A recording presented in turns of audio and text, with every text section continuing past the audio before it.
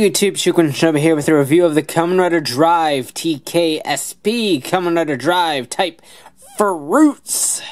So we took a look at the shift car not too long ago, and here is the rider form. You get a good pick of the figure right there, and a little bit of the suit up there. I love this form. It was released in December 2014 for the usual TK price of 3,200 yen. So this is a form as seen in the movie. He gets the Type Fruits shift car, as seen here and he transforms into this a nice wonderful blend of Gaim and Drive and it's it's just really freaking cool. Um, usual TK packaging nothing uh, too crazy to go over there. Does advertise. Their next review that we'll take a look at the ACSP figure of Kamen Rider Gaim Drive Arms. So pretty cool. Um, it's usual, unusual rather, that we get a uh, movie form as a retail release figure and that is just really freaking cool. I really dig that. Included with this guy is the Musou Saber and the Daidaimaru, as seen in the Arms Change series. Um, just you can tell right by the little peg right there that uh, this is the same exact one that we're used to getting. Uh, in fact, you can even peg them together as usual to make the uh, Naginata mode, if you so wish. We're just going to go ahead and set that aside for right now. Um, Gaim, or Drive rather, does wield the Musou Saber and the Dai Maru when he uh, enters this form. So like I said, a wonderful blend of Gaim's fruit motif and armor motif uh, combined with Drive's general aesthetic. It is really, really nice. The base figure is more or less a repaint of Type Speed with new shoulder pads. Uh, that is basically um, about it for him. He does have this new little Type Fruits logo on his drive driver. As you can maybe see right there, it is a little bit difficult to see because it's just so small. But um, I, I really dig this guy. He is really, really cool. Uh, all the posability is right there. Obviously, this pad hinders the vertical movement quite a bit, but um, you can move it out of the way if you so wish to move his arm up like that. And the joints are actually quite tight on this guy, too. I got a paint nick right there. That's upsetting. Anywho, uh, I, I really dig this form. It's a great looking form. You got the orange on this side. You got the blue on this side to kind of represent uh, Gaim's base suit color, the blue right there. So I really dig that. Um, I don't know if I would have preferred the orange here or the blue here to kind of make them like two-toned, maybe. Kind of like a weird horizontal double. But um, that that could have been cool, I suppose. But um, overall, it's a nice looking figure. I just really like the form. It just works for me. Uh, I really, really dig that. Uh, this part does spin right here, so you can flip those pieces up and get a cool spin going. I haven't seen the movie, obviously, because it just came out in Japanese theaters and is not out on DVD.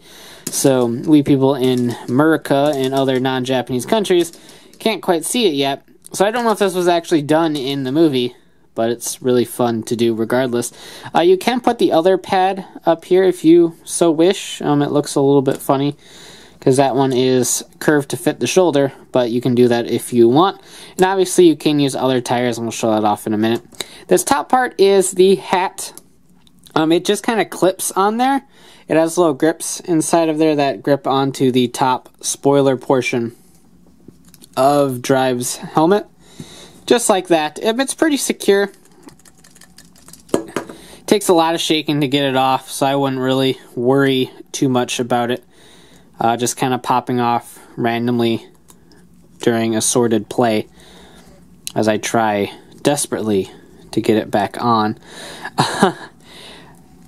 there we go. So I don't know. I, I really like it. The, the hat is definitely goofy, but it gives them the nice sort of samurai warrior motif uh, that I really do enjoy. And then the back, as usual, has all of Drive's uh, car undersideness down there. So that will pop right off. And uh, as being a type speed mold, you just pop them off right there. And you have the type fruits tire. Now, of course, you can attach this to any of the other ones. It's actually kind of cool on Type Technique. I'll, I'll, I'll give it that. It, it's weird, but hey, it works. It doesn't work quite as well on Type Wild since these really have nowhere to go. He can fold on his head, I suppose. Um, in terms of like being a saw, uh, the way it's shaped, it just doesn't really work Uh, if you can clip it in the other way, perhaps. I don't think that really clips in that way because it's meant to go the other way. If it could clip in like that, you can kind of get it to go, but that really doesn't quite work. And of course, being the same mold, it works perfectly fine with type speed, but with the different shoulder pad, um, it doesn't quite fold down all the way, but it works just fine. Now to hook these together, all you do is simply connect these two halves right here, flip it over, and these will connect right on the sides right here. And this is essentially what the TK, or the TK, the Type Fruits tire is supposed to look like. Um, very reminiscent of the normal Gaim fruit coming down, splitting apart into multiple pieces.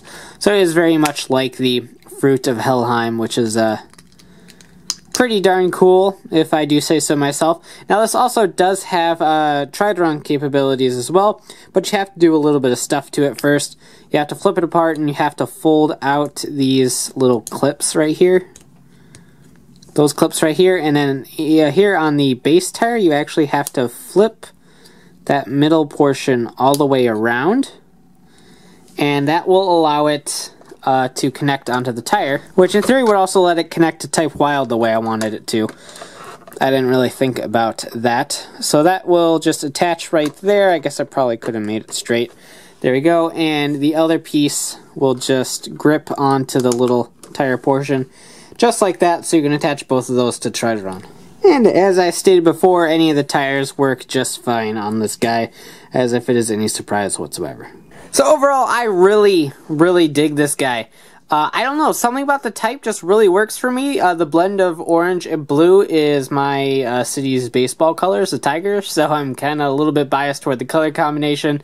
And uh, being such a fan of Gaim, um, I love how they incorporated elements of Gaim's design into uh, type fruits really quite well. Um, being a repaint slash remold of Type Speed, it is a great overall figure. So if you own Type Speed, you know a little bit of what to expect going into this guy. Uh, the hat stays on pretty well, which I'm actually quite surprised about, and the look of the tire itself is just generally really cool and really uh, calls back to the way Gaim transformed, which I really dig. So overall, this is probably my favorite uh, TK figure yet. Uh, Speed was always the most solid figure for me uh, despite the fact that I like uh, Technique's design so much. So, um, knowing that is a repaint remold of that, um, I figured I'd like this one a heck of a lot, and I certainly do. In fact, it's my favorite of the two movie releases, um, but we'll get to uh, Arms Change Gaim Drive Arms uh, in a day or two. So, thanks for watching, take care, and have a great one.